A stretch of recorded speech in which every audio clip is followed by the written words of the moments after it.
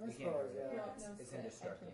Oh, good. I would like to bring this chair to church every That is the most comfortable chair. I actually think that. Hello, podcast listeners.